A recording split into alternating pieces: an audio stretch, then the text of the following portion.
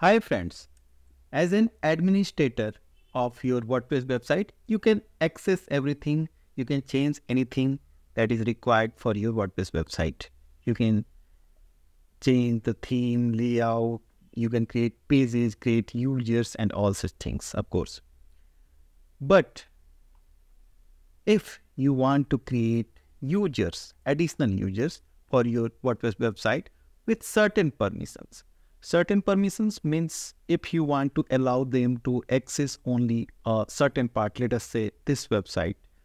So this is a complete full featured website. This is a backend of the fully functional website and it has multiple features. Of course this website needs regular maintenance regular update activity regular blog postings. Like this website also having a feature of online learning management system i mean online courses so it needs regular updates on courses. Regular courses are being updated. Similarly the google web stories are here so the users are posting stories on this website on regular basis. But how we can control users to allow them to access certain area only certain area of the website so that we may maintain the integrity, even the security of the website and make sure that the users may not disturb the main layout of or main functioning of the website. This is the objective of this video and you will watch in this video if you are using a perfect plugin, suitable plugin for any objective on a WordPress CMS, you are going to meet your object objective and you can do anything that you actually want for a WordPress website through the plugins.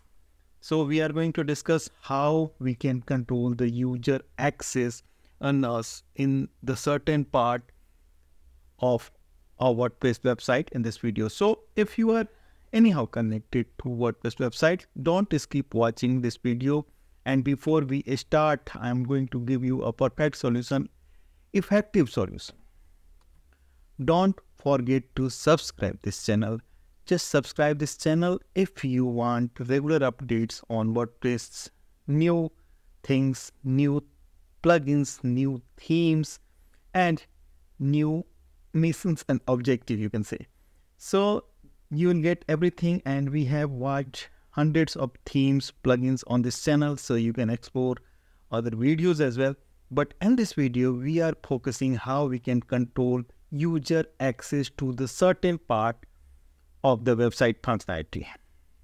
So as I said, this is admin screen and I'm discussing a lot on this screen only. But yes, now I'm going to show you another user login of the same website. You'll feel the difference. So let us assume there is an another user on this website who can post only web stories and even posts. So general regular blog post and web stories should be the permission for that particular user. user. I'll show you that user first. Okay, so this user is having access on the same website, but the user have only permission to publish and edit the web stories. So it is amazing solution and you can see the admin bars are also hidden. User can only create a stories publish a story that's it. So whatever permission has been given user has access on the certain parts. Rest of parts is not accessible for users. Like if user clicks on tool he cannot do anything. And if post is permitted since the post is permitted for this user user can publish new post or new stories. That's it the stories means Google Web Stories. So, and now I'm going to show you another user login for the same website. I'm just showing you the case that you can tackle and it may be different, different permissions you may be seeking for your WordPress website, but I am sure you can meet all the objective through the solution that I'm going to show you in this video. You can actually grant the access of your website or a certain area that you actually want to share to new users. And even you can create new user permissions. So watch this video until end. Just see the beauty of the plugin how it has been widely used. Now i am logged in with another user. And this user have only permission to publish courses. I mean, access on LearnPress that is on learning management system of the website. Again, user cannot access the other part of the website. It means user is limited for the permission what has been given to him or her. So this is the beauty of a plugin that I am using for controlling the user permissions and now I am taking you to the solution how I implemented this, how we are using at our at, at our projects, and how you can also do for your users permissions or user capabilities. Coming back to the admin screen, now I'm going to show you the plugin first of all that I am using. The plugin itself is called capabilities. The plugin name is capabilities and it is a plugin to control all the things that you may be needing for user access. I mean user permissions. This is dashboard of the plugin and the plugin is called Publish Press Capabilities and it is a free plugin that I am using. Of course, you can have the pro version as well if you want to have additional features that is being provided through the plugin but I am using the free one and free one is enough to control what you want. First of all, on the dashboard, we can decide what we want to keep it active. I mean, what features we want through this capabilities plugin to decide user roles. So roles can allow to create, edit, delete all users from your site. Capabilities itself is, is uh, necessary thing for this plugin that allows you to change the permission of any user role. This is the main thing that we are targeting. Some uh, editor features that you can allow to remove elements from the post editing screen and for the front end and the admin features you can control. And the best feature that I found in this plugin, uh, in addition to capabilities, of course, the user testing. You don't need to log in from user username i mean your created username and password you can simply access their user through the plugin area itself so you can go to the users and you can access the plugin i mean access their login like you are logging uh, with their credentials. So you can test their capabilities as well how they are going to access your website. So it is going to give you complete idea how you are implementing implementing. Now coming to the capabilities. So roles i have already shown you the roles uh, this is the roles and again you can create new roles as you need as you wish. So i have created one additional role by default wordpress gives us certain roles like author editor and the contributor whatever maybe at your installation. But yes we can create new roles by clicking on this roles button. And you can create a new role and you can give certain permission. Whenever you will create new role you will come on a screen that will show you the capabilities of that particular user let us say so we have selected and created in fact so i have created a new user called web story that i shown you and the user login I have already shown you. So the, the web story user name, and this is a username in fact, user capability name, role name.